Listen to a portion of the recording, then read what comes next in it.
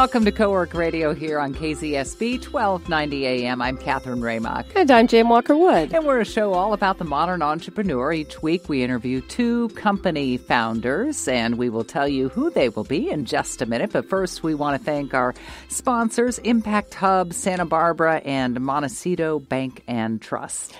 JP James Knapp is here today. JP founded Koto Group, which is a property management company based in Santa Barbara, specializing in student and residential housing on the Central Coast. And Joel Heath is also here. He founded a company company in uh, motion makers of Fluidstance, and he also is a familiar face with Deckers, leading Deckers Teva brand. And we're going to talk about his turnaround as the brand president and marketing director there. And in a minute we'll tell you about next week's guests, and also we'll introduce John Greathouse again here for his weekly segment. But first, we want to start off with some local news, and we'll segue a bit into business news as well. Repopulation of Montecito began yesterday. That's following the Thomas fires and mudslides. Yesterday, Coast Village Road was opened and the northwest section above the 101.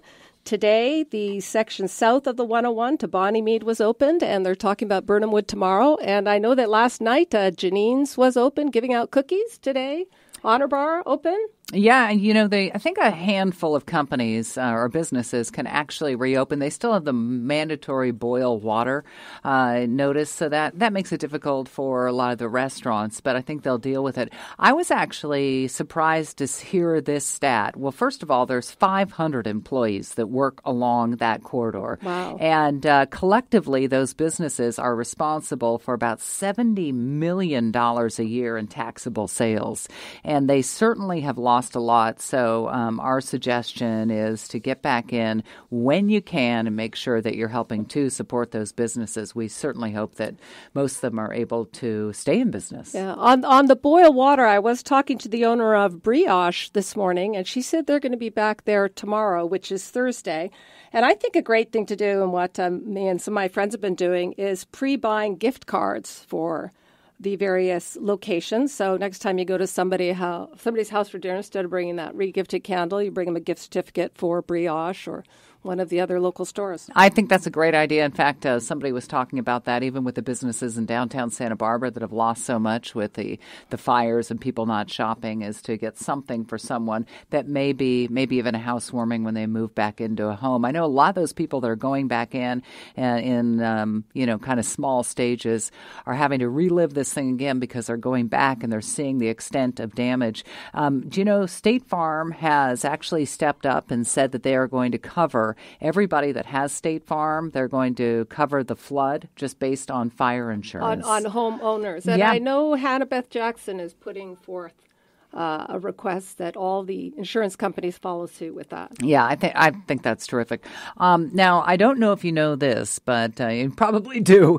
Um, that uh, some of the survivors of the mudslides are apparently reluctant to ask for help from FEMA because they're saying that the undocumented immigrants with children born in the U.S. are eligible for help, but they also have told them that they're going to share that information with the Department of Homeland Security. So uh, that's the why immigration groups, a cause is one of them, and many others have started something called 805 Undocufund, and Direct Relief International just gave $100,000 to that. And the money is going to help uh, survivors evacuated from Montecito homes where they worked, and also workers that were impacted by the closure of the 101 that had to get back. Direct forth. Relief's done an amazing job. They were the ones, first ones, I think, giving out those N95 masks.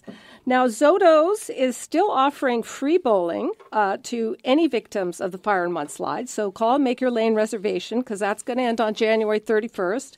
That's at zodos.com or 805 967 0128. I like that. It's kind of you know at least for a little while something do fun, do something yeah. that you know can put a little smile on your face. Um, the LAC, the Local Assistance Center, is still open. Uh, that is going to be open until February the fourth, and it is located at the Calvary Chapel, one North Calle Cesar Chavez. I have not gone by. I've talked to people that have though, and find it uh, very very helpful. It's staffed with representatives from the Office of Emergency Services, from FEMA Small Business Administration, and also counselors are on hand. So it's sort of billed as a one stop shop for people that are looking to um, either maybe have some. They have been very mm-hmm. helpful. And normally I wouldn't recognize and give a shout out to a big corporation, but I have to say, Southern California Edison have been amazing the way they've stayed in communication with us. Okay, so you know when our gas is going to get restarted, and you are you are next. in an evacuation yes. area that I think was just lifted today, and I, I this is the first that you've told me about their being in contact with you. So through texts and what kinds of things are they telling you? They have been sending texts out every day, telling us where has been connected, where is going to be connected, and what the plan is for next week and they have at the music academy the last few days oh, like 75 100 employees there. And there's a little station where you can go and ask questions set up your appointment the guy came around to my house. He lit everything, checked my dryer. I mean, they were just incredible. Uh, that reminds me that Southern California or so- SoCal Gas also said making sure that people get on and update their accounts because they will come out personally yeah. to all the yeah.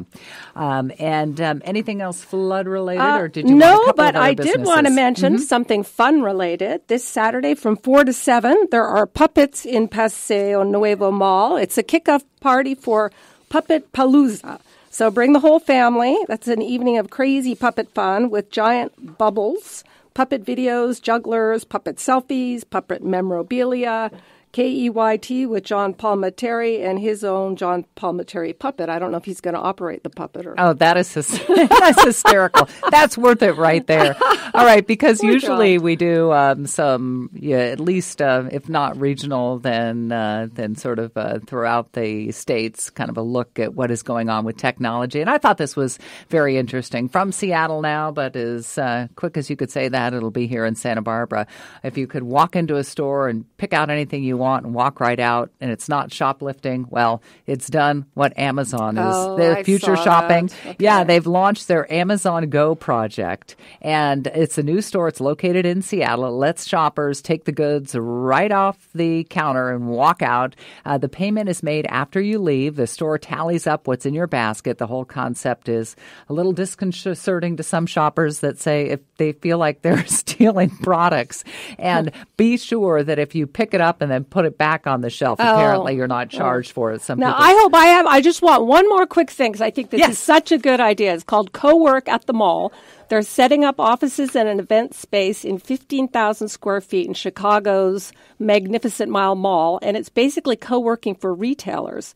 So you have a platform to beta test your product to see if you want to open a full-on retail store. Great idea. Hey, you're listening to Co-work Radio here on KZSB 1290 AM. Catherine Remak along with Jane Walker Wood. And after the break, which we'll go to in a second, we'll have UCSB professor, prolific business author John Greathouse to answer your social media questions. If you want to get your questions answered, you can go to our website at coworkradio.com and check it out there. And we also want to thank once again Impact Hub and Montecito Bank and Trust. We'll be right back back.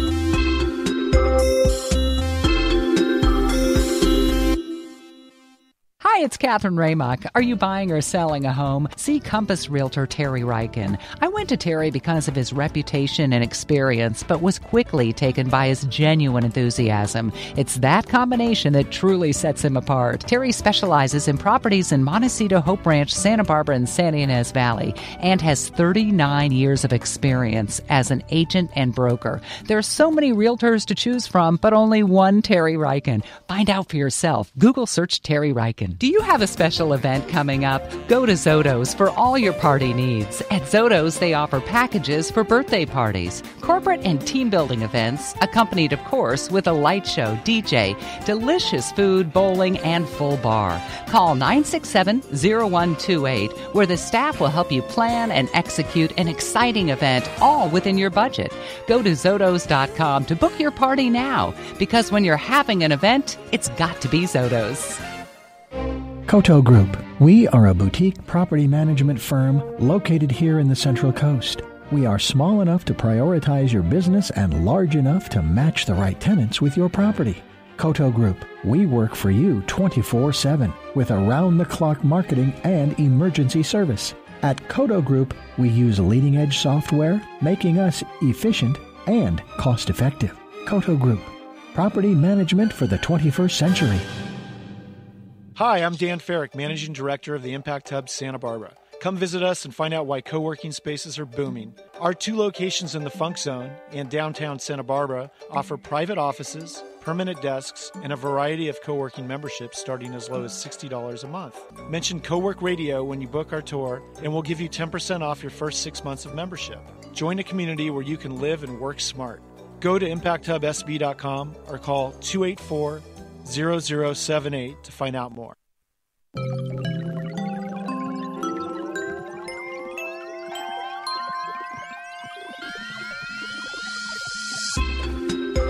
Welcome back to Co-work Radio here on KZSB, 1290 AM. Catherine Remak along with Jane Walker Wood and UCSB professor, business author, and one of our favorite people, John Greathouse, here to answer your social media questions. By the way, just a reminder before we introduce John here, if you want a question answered, you can email askjohn at cwr.com or you can go to our website at coworkradio.com.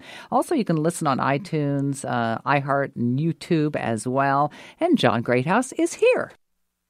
I'm doing awesome. How are you? Oh, it is so good to see you. It's uh, it's the best part of our week, or one of them anyway. You're very hey, kind. Uh, we've got a question from Amber, mm-hmm. and uh, I think this is fascinating. She says that I'm graduating this year, and I'm wondering if I should get an MBA. I'm not sure if I want to start a business. I've always been entrepreneurial, but a bit of a renegade when it comes to doing what I'm told. I mm, think that might be that. a lot of the next generation, right? But yep uh, and it's Amber anyway. Um, what do you think? Well, Amber, the, the typical answer in business, which is why I love business, is it depends. There's almost never just a black and white yes or no, and I think this is this is a case in point to that. I get this question a lot from my students at UCSB, as you would expect, um, and I have strong feelings about it. So just I'll I'll tell you my feelings, but keep in mind it's one person's opinion. Go get multiple opinions on this. It does depend. I think if you have a technical degree, if your undergraduate degree is not business oriented, so maybe you're a scientist or an engineer or someone that really hasn't had much business background, then yes, it can it can help you tremendously. If you're an entrepreneur and you already feel like you know you're, a renegade and you, you want to get out there, I would say it could actually be detrimental to to getting to starting your business. Really? Yes, because and there's a number of reasons for it. I'll, I'll go through a couple of them. Um, one is it's just really expensive to get an MBA. You're taking two years out of your work life. Um, the the degree itself is quite expensive. You know, the average loan. I don't know the, the, the newest numbers, but I wrote an article about this uh, probably 18 months ago. The the average was over 120,000, I believe, in loans that MBA students come out of college with. So think about trying to start a business when you're sitting on top of uh, $100,000 plus in loans the other thing is you're worth a lot of money typically when you get an MBA. So now you not only are you sitting under a, a lot of money in a loan, but now your market value is quite high. Uh, and as we know, when you start a business, you don't typically make a lot of money. So your peers are going to be out there making money to pay off their loans, and you're going to be that person out there trying to and start stress, a company. And the stress because you'd have to work a part-time job just to keep up on the interest. Yeah, some of these loans are over ten percent. Yeah, they and they could start they can start stacking up quickly. So I would say don't get your MBA. You don't need your MBA to be an entrepreneur, absolutely. Um, and don't get your MBA if you think it's going to turn you into an entrepreneur because it won't. If you do get an MBA, if anybody else is out there listening and they say, well, I'm not really that entrepreneurial, I would say have your company pay for your MBA. That's the right way to get it. Have, do it at night. Go to Pepperdine's got a great, um, you know, weekend and evening program. There's a, there's a lot of good executive programs out there. I think USC has one Get your company to pay for it. That way you come out with no debt, and then you have that credential. What do you find, because you hire a lot, um, what do you find is the difference between somebody that has an MBA and not? What are people it, learning in that two years? Yeah, I, I, so an MBA, when it really boils down, it's it's a it's giving you a tool belt, like just like a carpenter or a plumber has a tool belt. So they're really good about giving you tools. They're less good about telling you when to use them. So if you, I think that's where, where entrepreneurial instincts really come into play. If you if you have all these new cool tools, eh, but you don't really know quite when to deploy them in what situation, then they're just new cool tools. And the other thing about an MBA is it's it's and many of them are, are vocational schools for entrepreneur uh, for consultants and for investment bankers. That's really those are really the two sets of folks that get the most out of it. but MBA. what about the networking opportunities? A lot of people say That's you're very to meet the people and get connected. It's very valid. So, but but keep in mind that um,